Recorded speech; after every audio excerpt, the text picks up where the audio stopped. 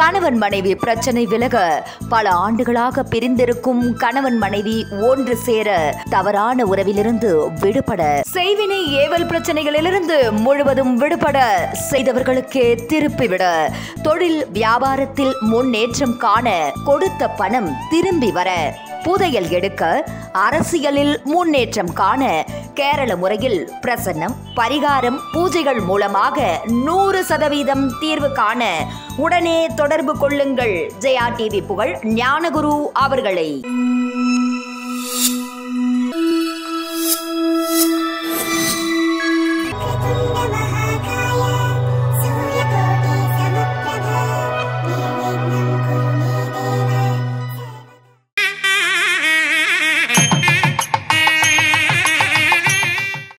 கடவுள் அருள் டிவி நேயர்களுக்கு அன்பு வணக்கங்கள்.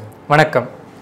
உங்கள் அன்பு ஜோதிடர் அஷ்டோரெங்கா பிரசன்ன வித்தகர் வாஸ்து நிபுணர் ஜோதிட ஆலோசகர்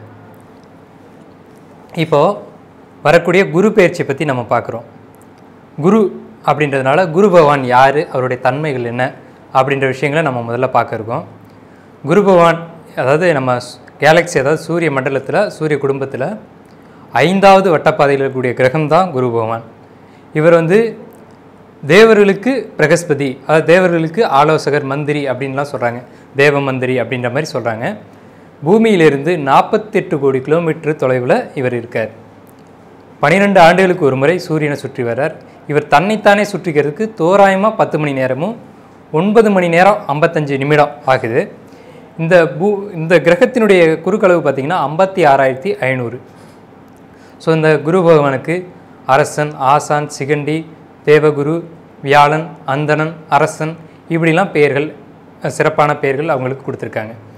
இந்த குரு நம்ம ராசி கட்டத்தில் பார்த்தோம் அப்படின்னு சொன்னீங்கன்னா காலபுருஷ ராசியில் ஒன்பதாவது ராசிக்கும் பன்னிரெண்டாவது ராசிக்கும் அங்கம் வகிக்கிறார். இந்த ஒன்பதும் பனிரெண்டும் சிறப்பான இடங்கள் நம்ம ராசி சக்கரத்தில். ஏன் அப்படி சொல்கிறோம் அப்படின்னம்னா நம்மளுடைய உடல் அப்ப ராசி கட்டம் அப்படி தான் இப்போ நம்ம முன்னோர்கள் நமக்கு கொடுத்துருக்காங்க. இந்த உடலை நம்ம பிரித்து பார்க்கும்போது ஒன்பதாம் இடம் அப்படிங்கிறது தொடையாக வருது. அதாவது இந்த உடலை தாங்கக்கூடிய பகுதியாக அந்த குரு இருக்கக்கூடிய இடம் வருது. எங்கெல்லாம் சதை பகு சதை பிடிப்புகள் அதிகமாக இருக்கோ அந்த பகுதியெல்லாம் குரு ஆதிக்கம் செலுத்துகிறார் கொழுப்பு உள்ள இடங்களுக்கு குரு ஆதிக்கம் செலுத்துகிறார் எலும்பு அல்லாத சதை பகுதிகளுக்கு குரு ஆதிக்கம் வைக்கிறார் இந்த குரு பகவான் நல்லதை மட்டுமே செய்யக்கூடிய ஒரு கிரகம். ஒரு ஆசான் இருக்கார் அப்படின்னா ஒரு கலையை கற்றுக் கொடுக்குறார். அவர் வ வளர்ச்சிக்கு எல்லாமே செய்கிறார் அவர் வளர்ந்ததுக்கு பின்னாடியும் அதே இடத்துல இருந்து அவருடைய வளர்ச்சியை பார்த்து ரசிக்கிறார். அவர் தான் குரு. அந்த அடிப்படையில் நம்ம பார்க்கும்போது நம்ம பள்ளிக்கூடத்தினுடைய ஆசிரியராக இருக்கட்டும் ஒரு ஜோதிட ஆலோசகராக இருக்கட்டும் இந்த மாதிரி நம்மளுடைய வளர்ச்சிக்கு யாரெல்லாம் அங்கம் வகிக்கிறாங்களோ அவங்கெல்லாம் குரு. ஒரு மதத்தை போதிக்கக்கூடியவங்க நம்ம வாழ்க்கைக்கு வழிகாட்டக்கூடியவங்க இப்படி இந்த தன்மை உடையவங்க எல்லாமே நம்ம குருவாக எடுத்துக்கிறோம். இந்த குருவினுடைய நிறம் அப்படின்றது பொன்னிறம். அதனால தான் அவர் பொன்னவன் அப்படின்னு சொல்கிறோம் இவர் நம்மளுடைய உடலில் வயிற்று பகுதிக்கு அங்கம் வைக்கிறார் வயிறு சார்ந்த பகுதிகளுக்கும் அங்கம் வைக்கிறார் இவருடைய வாகனம் பார்த்திங்கன்னா யானை வாகனம். ஸோ இந்த மண் பூதத்துக்கு இவர் வந்து ஆதிபத்தியம் வாங்குறார். இந்த குரு பகவானுடைய சிறப்பு அம்சங்கள் அப்படிங்கிறது இதெல்லாம் நம்ம பார்க்குறோம். இப்போ நம்ம வந்து ராசி பலன் அப்படின்ற விஷயத்துக்குள்ளே போயிடுவோம். கணவன் மனைவி பிரச்சனை விலக பல ஆண்டுகளாக பிரிந்திருக்கும் கணவன் மனைவி ஒன்று சேர தவறான உறவிலிருந்து விடுபட செய்வினை ஏவல் பிரச்சனைகளிலிருந்து முழுவதும் விடுபட செய்தவர்களுக்கே திருப்பிவிட தொழில் வியாபாரத்தில் முன்னேற்றம் காண கொடுத்த பணம் திரும்பி வர புதையல் எடுக்க அரசியலில் முன்னேற்றம் காண கேரள முறையில் பிரசன்னம் பரிகாரம் பூஜைகள் மூலமாக நூறு சதவீதம் தீர்வு காண உடனே தொடர்பு கொள்ளுங்கள். ஜெயா டிவி புகழ் ஞானகுரு அவர்களை. எப்போதும் இளமையும் கவர்ச்சியும் உடைய கன்னிராசி அன்பர்களுக்கு என் வணக்கங்களும் வாழ்த்துக்களும். கன்னி புதன் ஆதிக்கம் கொண்ட ராசி. அதாவது புதனுக்கு ஆட்சி வீடு உச்ச வீடும் ஒரே வீடாக வர்றது இங்கே தான் இது ஜோதிடர்களே ஒரு ஆசிரியர் ஒரு கேள்விக்குறியான ஜோ ஒரு விஷயம் என்னென்னா ஜோதிடர்கள் என்ன கேட்பாங்க அப்படின்னா ஒரு கிரகத்துக்கு ரெண்டு ஆட்சி வீடு வரும். ஆட்சி வீடு ரெண்டாக வந்தாலும் உச்ச வீடு தனியாக வரும். ஒளி கிரகங்களுக்கு மட்டும் ஒவ்வொரு ஆட்சி வீடு வரும். ஆனால் கன்னிராசிக்கு மட்டும் ஏன் ஒரே ஆட்சி வீடு ஒரே உச்ச வீடு? இந்த இந்த சிறப்பு ஏன் அங்கே மட்டும் அப்படின்னா அதுதான் அவங்களுடைய தனித்துவம் அங்கே தான் அடங்கியிருக்கு. புதன் தான் அறிவுக்கு காரகன். புதன் தான் புத்திசாலித்தனம். அப்போ அதனால தான் இவங்களுக்கு அந்த ஒரு நுட்பமான விஷயத்தை அங்கே காலராசிக்குள்ளே பொருத்திருக்காங்க இப்போ இங்கே இந்த கன்னி ராசியில் தான் சுக்கரன் நீச்சம் அடைகிறார். அப்போ இது இது உள்ளூர என்ன ஒரு விஷயம் சொல்லுதுன்னா இவங்களுக்கு புத்தி வேலை செய்யுமே தவிர தேவையற்ற ஆடம்பர விஷயங்களில் இவங்க ஈடுபட மாட்டாங்க. அதுக்காக நம்ம கஞ்சுன்னு சொல்லக்கூடாது. கிட்டத்தட்ட அது வரைக்கும் தான் போகும். ஆனால் புத்திசாலிகள் அப்படின்ற மாதிரி நம்ம எடுத்துக்கலாம். கன்னிராசி அன்பர்களை? புத்திசாலியான கன்னிராசி அன்பர்களுக்கு இந்த ஆண்டு குரு பேச்சு எவ்வாறு இருக்கிறது? இதான் நம்ம இப்போ பார்க்குறோம். கன்னிராசிக்கு பன்னெண்டாம் வீடான சிம்ம வீட்டை குரு பார்க்குறார். ரெண்டாம் வீட்டை ரெண்டாம் வீடான துலாம் வீட்டை குரு பார்க்குறார். நாலாம் வீடான தனுசு வீட்டை குரு பார்க்குறார். பன்னிரெண்டு ரெண்டு நாலு இந்த இடங்களை குரு பார்க்குறாரு இல்லையா? இப்போ இந்த குரு பார்வை இந்த எட்டுக்கு வந்த குரு பார்வை என்ன பலன் கொடுக்க போகுது அப்படின்னு நம்ம பார்க்குறோம். பொதுவாக எட்டில் குரு அப்படின்றது சிறப்பான பலன் இல்லை தான் நான் சொன்ன உடனே உடனே முடிவுக்கு வந்துடக்கூடாது. எட்டாம் வீட்டுக்கு குரு வந்திருக்கார்.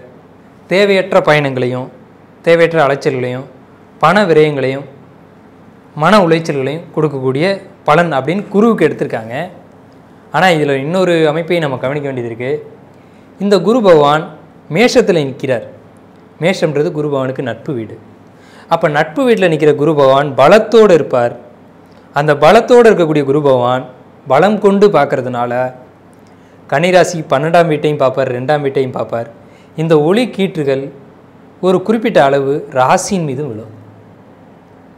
ராசியின் மீது விழும்போது என்ன ஆகும்னா சந்திரனுக்கு குரு பார்வை கிடைச்சி போயிடும். அப்போ சந்திரனுக்கு குரு பார்வை கிடைக்கிறது அப்படின்றது ஒரு விசேஷமான ஒரு விஷயம். இந்த கன்னிராசிக்கு பாதகாதிபதி தான் குரு. ஆகாத கிரகம் தான். அவர் மறையணும். மறைஞ்சிட்டார். மறைஞ்சு நின்று ராசியை பார்க்குறார். அப்போ ம அதாவது ஒரு எதிரி நண்பனாக மாறிய கதை தான் இது. அவர் ஆக்சுவலாக கெடுதல் பண்ணணும் உங்களுக்கு. கெடுதல் பண்ணாமல் எப்படி நல்லது பண்ணணுமோ அந்த ஸ்டேட்டஸில் இப்போ அவர் இருக்கார். அப்போ இந்த ஆண்டு கன்னி ராசிக்கு நற்பலன்களே அதிகம். இப்போ கன்னி ராசிக்கு கேது வரப்போகிறார் அக்டோபருக்கு மேலே. அப்போ அக்டோபருக்கு மேலே தான் நீங்கள் வந்து எச்சரிக்கையாக இருக்க வேண்டிய காலகட்டம். என்ன என்ன விஷயங்கள் அப்படின்னு பார்த்தீங்கன்னா தலை சார்ந்த விஷயங்கள் மனம் சார்ந்த விஷயங்கள் இதெல்லாம் நீங்கள் க எச்சரிக்கையாக இருக்கணும். இப்போ ரெண்டாம் இடத்துல கேது இருக்கார். இவர் இந்த ரெண்டாம் இடத்துல இப்போ கேது இருந்தாலும் குரு பார்வை விழுகுது அப்படின்றதுனால வர இருபத்தி ரெண்டு நாலு ரெண்டாயிரத்தி இருபத்தி மூணு இந்த தேதியில் குரு வந்து மேஷத்துக்கு வர்றார். அந்த மேஷத்துக்கு வரும்போது குரு பார்வை விழுந்துடும் அக்டோபருக்கு முன்னாடியே ரெண்டாம் வீட்டை குரு பார்த்துருவார். இப்போதைக்கு இருக்கிற பொருளாதார தடைகள் நிவர்த்தி ஆகிடும் இருபத்தி ரெண்டாம் தேதியில் உங்களுக்கு நிவர்த்தி ஆகிடும் ஸோ அம்மா அப்படி பார்க்கும்போது ராசி சந்திரனுடைய குருவுடைய கட்டுப்பாட்டில் இருக்குது இப்போ ரெண்டாம் இடத்தை குரு பார்த்துட்ருக்கார். இதுவும் விசேஷம். கேது அக்டோபர் மாதம்தான் ராசிக்கு வர்றார். அப்போ அக்டோபர் மாதம் ராசிக்கு வரும்போது ரெண்டாம் வீடும் பலமாக இருக்கும் பன்னெண்டாம் வீடும் பலமாக இருக்கும். ஸோ இதை பற்றி நம்ம பெருசாக ஒரி பண்ணிக்க வேண்டிய அவசியம் இல்லை. இப்போ எட்டாம் வீட்டு குரு என்னென்ன பலன் செய்வார்? எட்டாம் வீடு அப்படின்றது மர்மமான இடங்கள். ம அப்போ மர்மம் அப்படின்னா ஆயுள் ஸ்தானத்தில் பிரச்சனை வருமானம் வராது. ஏன்னா அவர் நட்பு வீட்டில் குரு பலமாக நிற்கிறார் கெட்டவன் கெட்டிடில் கெட்டிடும் ராஜயோகம். அப்போ இந்த கன்னிக்கு கெட்டவர் குரு அவர் கெட்டுட்டார் எட்டுக்கு போயிட்டார். அப்போ ஆயுள் தீர்க்கம். கன்னி ராசிக்கு ஆயுள் சம்மந்தப்பட்ட பயம் வேணாம் எட்டாம் இட காரத்துவங்கள் சிறப்பாக கிடைக்கும். எப்படி அப்படின்னா வீல் சொத்துக்கள் கிடைக்கலாம். ஏன்னா ராகுவேர் அங்கே இருக்கார். தாத்தா தான் ராகு. சூரியன் வேறு அங்கே இருக்கார். உச்சம் பெற்ற சூரியனாக இருக்கார். அப்போ பூரிகம் தான் சூரியன். அப்போ கன்னி ராசிக்கு இந்த ஆண்டு பூர்வீக சொத்துக்கள் உயில் சொத்துக்கள் தான் த செட்டில்மெண்ட் சொத்துக்கள் உறுதியாக கட்டாயமாக கிடைக்கும். அதுவும் இந்த கேதுன்றவர் உங்களுக்கு ராசி மேலே வரார் கேது தான் பத்திரம் டாக்குமெண்ட்டு பேப்பர் அப்போ எல்லாமே சேர்ந்துருச்சா உங்களுக்கு? கன்னி ராசிக்கு சேர வேண்டிய பரம்பரை சொத்துக்கள் கிடைக்கும். இதுதான் இந்த எட்டாம் வீட்டு குரு சொல்லக்கூடிய பலன். இந்த ராகு அக்டோபருக்கு மாதத்துக்கு மாறுறதுக்கு முன்னாடியே இந்த சம்பவங்கள் உங்களுக்கு நடந்துடும் இது இல்லாமல் ஆறாம் பாவத்தில் சனி ஆட்சி பலத்தில் இருக்கார். அப்போ உழைப்புக்கேற்ற ஊதியம் கிடைக்கும். ஆறாம் இடம் உழைப்பு அங்கே சனி ஆட்சி பலத்தில் இருக்கார். ஆறாம் இடம் உழைப்பு உடல் ஆரோக்கியத்தையும் எடுக்கலாம். அப்போ ஆறாம் வீடு பலப்படும் போதெல்லாம் உடல் ஆரோக்கியமும் மேம்படும். அப்போ உங்களுக்கு நரம்பு சம்பந்தமான விஷயங்களில் அது இது நாள் வரைக்கும் உங்களுக்கு நரம்பு சம்மந்தம் பிரச்சனை இருந்ததுன்னா கம்ப்ளீட்டாக க்யூர் ஆகிடும் இந்த இந்த குரு பயிற்சி காலகட்டத்துக்குள்ளே. அது ரெண்டாயிரத்தி இருபத்தி நாலுக்குள்ளே. பர்மனெண்ட்டாக க்யூர் ஆயிரும். ஸோ இந்த மாதிரி ஒரு அற்புதமான அமைப்பு கன்னி ராசிக்கு உண்டு. கேது ராசிக்கு வந்தாலும் கூட ஆறாம் இடத்தில் ஆட்சி பெற்ற சனி பகவான் நரம்பு சம்பந்தமான பிரச்சனைகள் கால் பாதங்கள் சம்மந்தப்பட்ட பிரச்சனைகள் முட்டி வலி சம்மந்தப்பட்ட பிரச்சனைகள் இதுக்கெல்லாம் ஒரு தீர்வை கொடுத்துருவார். ஸோ கன்னிராசியை பொறுத்த வரைக்கும் பலன்கள் அற்புதமாக தான் இருக்குது எந்த விதமான பாதிப்புகளும் இல்லை. மனைவி வழியிலையும் கன்னிராசிக்கு இது நாள் வரையும் சின்ன சின்ன கருத்து வேறுபாடுகள் இருந்திருக்கும். இனி அது தீரும். ஏன் அப்படி சொல்கிறோம்னா ரெண்டாம் வீட்டில் கேது நிற்கிறார் ரெண்டாம் வீடு தான் குடும்பஸ்தானம். குடும்பம். அந்த குடும்பத்துக்குள்ளே கேதுன்ற பிரிவினை ஒன்று வந்தது. கசப்புன்னு ஒன்று வந்தது. கேதுன்னா விரக்தி வெறுமை இதெல்லாம் நம்ம சொல்லுவோம். இதெல்லாம் ரெண்டாம் வீட்டுக்குள்ளே வந்த கேது இப்போ அக்டோபர் மாதம் மாற போகிறார் அதுக்கு முன்னாடியே குரு பார்வை வேறு விழுக போகுது. இந்த குரு பார்வை இப்போவே கிட்டத்தட்ட விழுகுது. ஏன்னா ஒரு கிரகம்ன்றது ஒரு நாளில் ஜம்ப் பண்ணி போயிடாது. அப்படியே ஸ்டெப் பை ஸ்டெப்பாக தான் நகரும். நகர்ந்து வரக்கூடிய கிரகங்கள் அப்போ ஒளிக்கதிர்கள் கொஞ்சம் கொஞ்சமாக கிடைக்க கிடைக்க உங்கள் மனசுக்குள்ளே அந்த எண்ணங்கள் வந்து மாறிக்கிட்டே வரும். அப்போ நம்ம மனைவி தானே நம்ம குடும்பம் தானே நம்ம தானே அனுசரித்து போகணும் அப்படின்ற எண்ண ஓட்டங்கள் இப்போ உங்களுக்குள்ளே வந்ததாக வர ஆரம்பிச்சிருக்கும். ஆனால் இதுக்கு முன்னாடி சின்ன சின்ன கசப்புகள் இருந்தது உண்மை தான் இனி அது படிப்படியாக மாறி உங்களுடைய திருமண வாழ்க்கை குடும்ப வாழ்க்கை குடும்பத்தோடு சந்தோஷமாக இருக்கக்கூடிய அமைப்பு அப்படிங்கிறதுலாம் வர வர வர அந்த குரு மேஷத்துக்கு வரும்போது கம்ப்ளீட்டாக குடும்பத்தோடு நீங்கள் சந்தோஷமாக இருக்கக்கூடிய காலகட்டங்கள் அப்படிங்கிறது இருக்குது கன்னி ராசிக்கான பரிகாரங்கள்.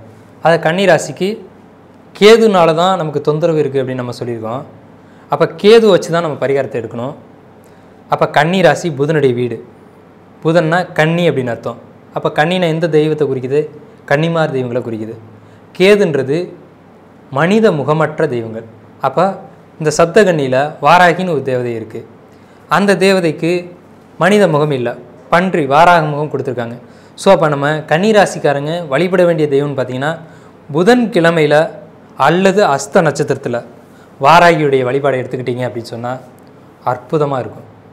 இதுதான் நீங்கள் செய்ய வேண்டிய வழிபாடு. கன்னிராசிக்காரங்களுக்கான வழிபாடு அப்படின்னீங்கன்னா அஸ்த நட்சத்திரம் வரணும் அன்றோ அல்லது புதன்கிழமையோ வாராகியினுடைய வழிபாடு நீங்கள் மாலையில் எடுத்துக்கலாம். ஏன் அப்படின்னா கன்னி வீடு அப்படின்றது மாலை பொழுத குறிக்கூடிய ஒரு ராசி. ஸோ அதனால் மாலையில் இந்த வழிபாடை நீங்கள் எடுத்துக்கலாம். நன்றி வணக்கம். கடவுள் அருள் டிவியை பார்த்தமைக்க நன்றிகள். மேலும் இது போன்ற தகவல்களை தெரிந்து கொள்ள கடவுள் அருள் டிவியை சப்ஸ்கிரைப் செய்யுங்கள். மறக்காமல் பெல் ஐக்கானை கிளிக் செய்யுங்கள்.